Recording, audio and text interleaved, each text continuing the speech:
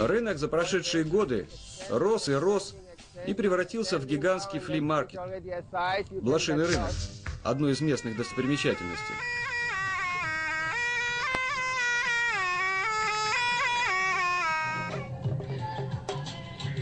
И сегодня я встречаю здесь много друзей, как и я, бросивших все и приехавших в Гоа много лет назад.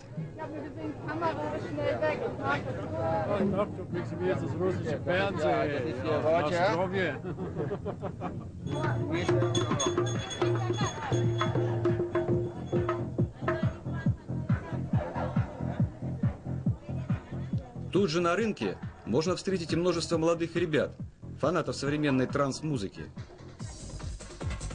Их притягивают к себе новые записи, еще неизвестные нигде, кроме Гоа. Субкультура Гоа-транса – это целая индустрия. Тут и CD, и тату, и одежда, и различные аксессуары. А когда и как возник Гоа-транс? Этот вопрос вам лучше задать знаменитому Гоа Гилу. Он один из основателей этого направления. С музыкой я не расставался никогда. Даже приехал сюда с гитарой. И тут я очень увлекся индийской философией и практикой йоги. И написал много духовных песен. «Мать-Земля», «Дети Господа повсюду», ну и всякое такое. А когда в начале 80-х в Европе появилась электронная музыка, все это как-то соединилось у меня в голове.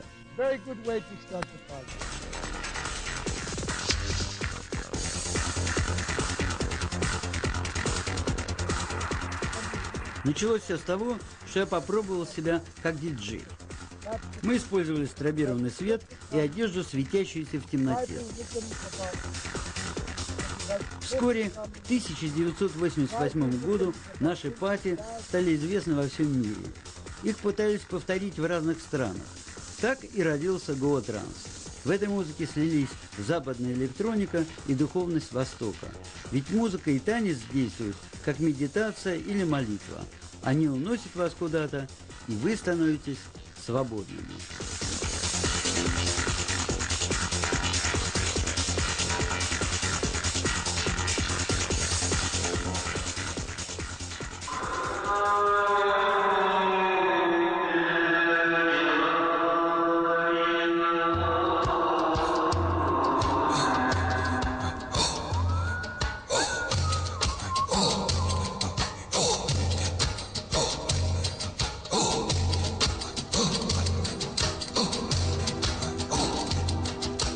Попросили последних хиппи на земле помочь нам попасть на ночное пати Гоа Транса.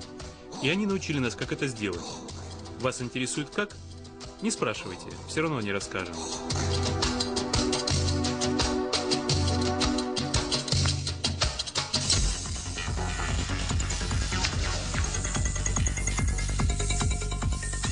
Это очень редкие кадры. Подлинная транс-вечеринка. Старые хиппи говорили нам, что с давних времен человечество объединялось с духом Вселенной через ритмичную музыку и танец. Это древнейшая религия на Земле. И сегодня, в 21 веке, диджей тот же шаман, а музыка Гоа – его бубен. Ну а почему такая таинственность, спросите вы? Почему нам упорно не давали снимать транс-вечеринку? Ответ очень прост. К сожалению, некоторые посетители транс-вечеринок приносят с собой наркотики, и этим, соответственно, ставят себя вне закона. Хиппи, с которых все началось, тоже немного курили травку. Много любили, спида тогда, правда, не было. Увлекались музыкой, философствовали, путешествовали. В каком-то смысле это было золотое, безмятежное время, о плохом не задумывались. Люди погружались в жизнь как в музыку, и она звучала в них.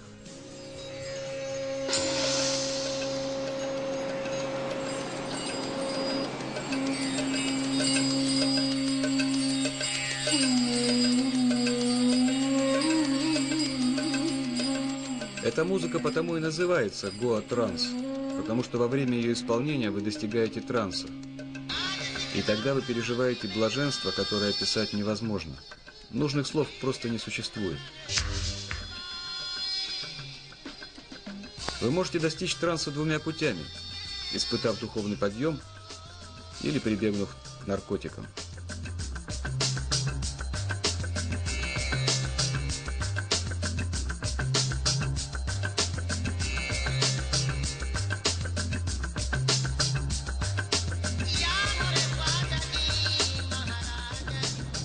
Второе, понятно, проще, но за это приходится расплачиваться очень дорого. Мы одно время тоже баловались травкой, но если бы не прекратили употреблять наркотики, то просто не дожили бы до наших 50-60 лет. Однако наше поколение сходит, и молодые, к сожалению, к нам не всегда прислушиваются. Я хотел бы рассказать вам об одной девушке хиппи. Ее звали Клео, и она была настоящей королевой Гоа. Прожив здесь 10 лет, она уехала обратно в Штаты. В Америке она написала книгу «Как я была хиппи в Индии». Книга имела огромный успех –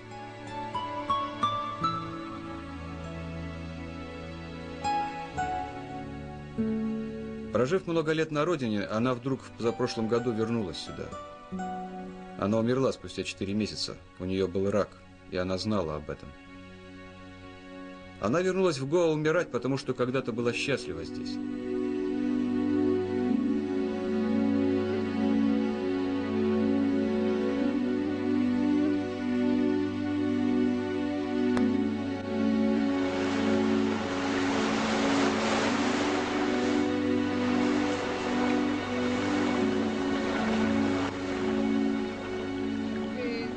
Поэтому просто слушайте Гоа-музыку. Делайте ногами вот так. И вы почувствуете, что ваш дух возносится над землей и парит где-то между нашей реальностью и тем, чему и названия нет.